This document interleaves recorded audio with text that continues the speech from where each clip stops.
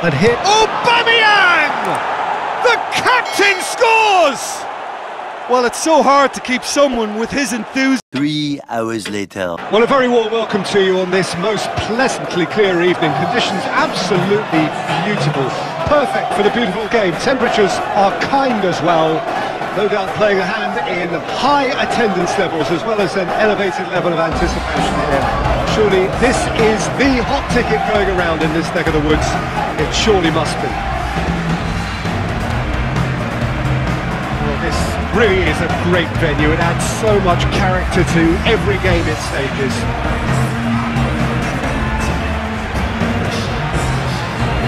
Brentford have gone 4-3-3. Jim, how do you interpret that?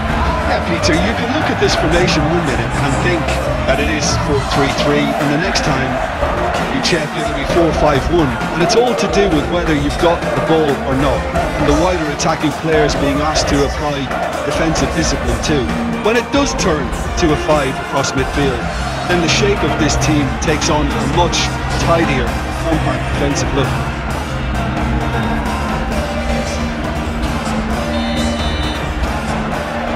And that gets things running. Jim, which player is best equipped for this game? Well, a man who splits opinion, David Luiz. Is he a midfielder or a defender? I would say former, because he has an impetuous streak that can't be trusted at the back, but full of Brazilian flair, and, and what a shot. Yeah, I'm inclined to agree. It's a loose ball. Tierney.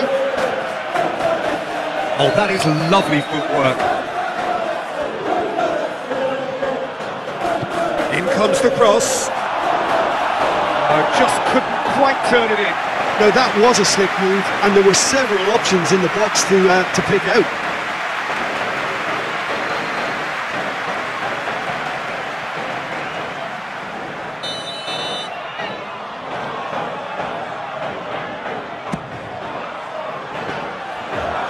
Play, and it is a goal kick.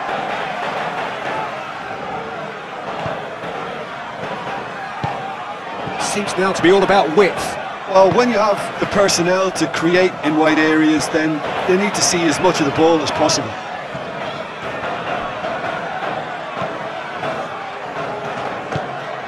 So it is still nil-nil.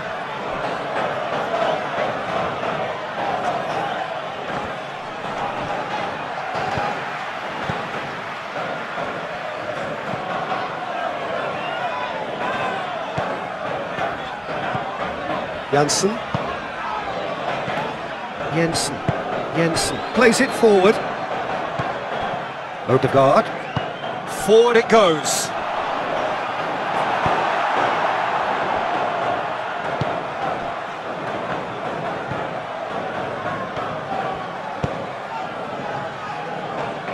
Just brushed off the ball there. Odegaard. Forward. It's Pepe! Big relief, it just needed better contact. Pepe certainly caught it well enough, but that was never really going to trouble the keeper.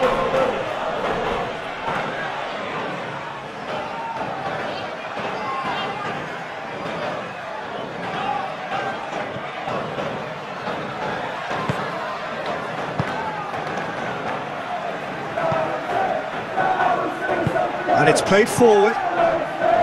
If anyone is going to break the deadlock, now would be a good time. De Silva.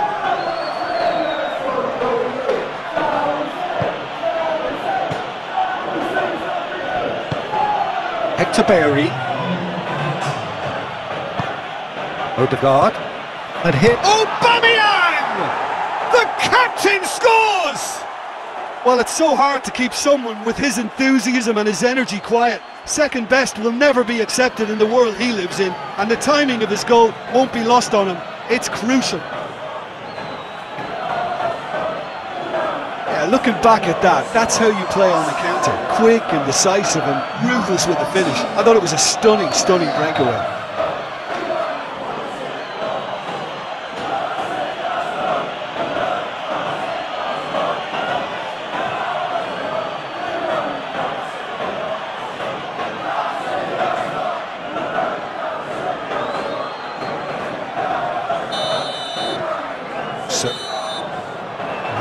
The half-time whistle. So there you have it, a close sport half of football. One that still had its moments, but ultimately produced just one goal. A more than decent game up to now. Well, they showed glimpses of some wonderful football to go.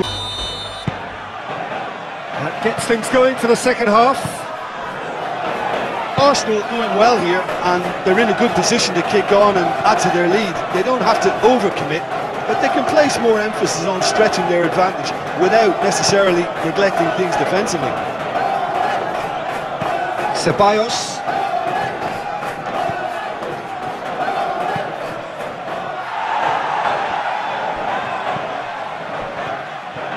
And here's Aubameyang hits it! Oh, real danger here. Willian. And here's Aubameyang going for goal!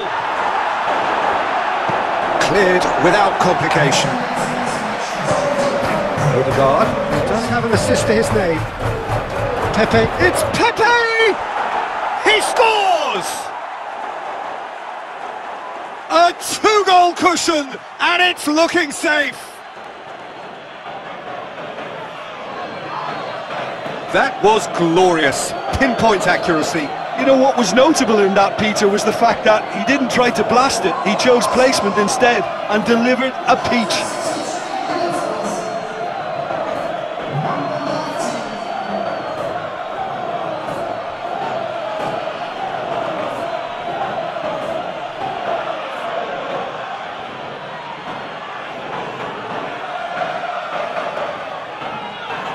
There is some activity down on the touchline. It seems there's going to be a change. Arsenal take a two-goal lead, and things should be comfortable from here on in.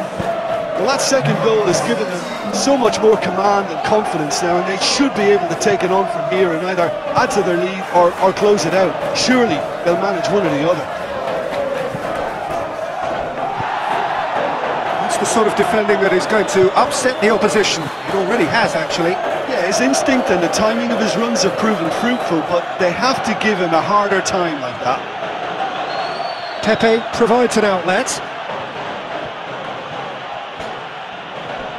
Pepe! Oh, it looked like 3-0 for sure. Pepe clearly is aware of how important that was. He'll be hoping that it won't come back to haunt him.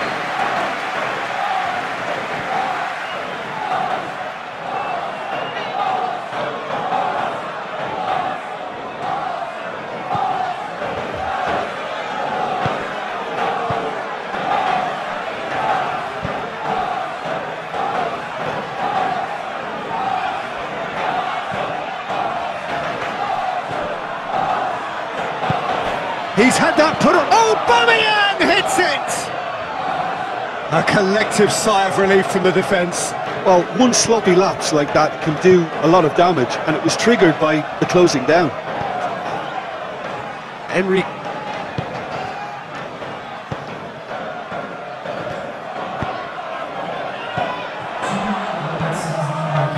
Two minutes to be added on. Partey plays it out to the flank. Pepe. He's left his man. Time to deliver. Now has a hit. Away from immediate danger. And that is that. So they have their win. They had all the answers to whatever the opposition threw at them, and the result followed inevitably. So, Jim, how do you reflect on what we've seen? Arsenal simply made their superiority count. They found cruise control quite early and, and didn't.